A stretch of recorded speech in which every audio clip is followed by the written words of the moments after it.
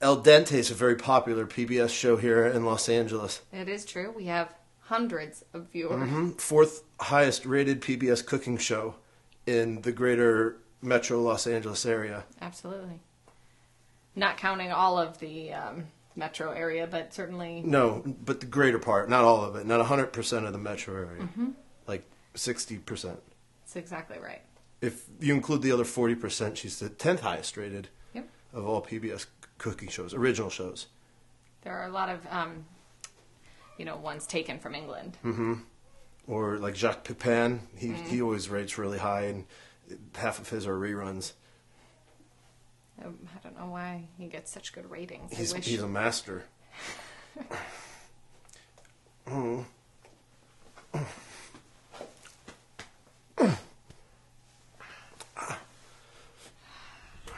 You have something. Ooh.